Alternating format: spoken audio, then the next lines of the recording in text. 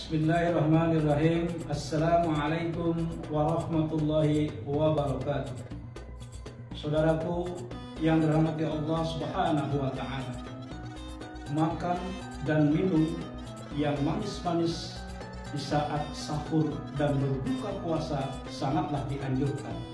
Tapi ingat saudaraku, terlalu banyak mengkonsumsi yang manis-manis juga sangat beresiko terhadap kesehatan tubuh kita.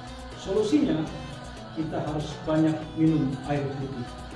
Dan kebutuhan air putih kita akan terpenuhi bila mana ada nazafa di rumah Anda.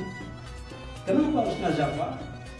Karena nazafa adalah filter air terbaik di Indonesia dan sudah tersertifikasi oleh WHO.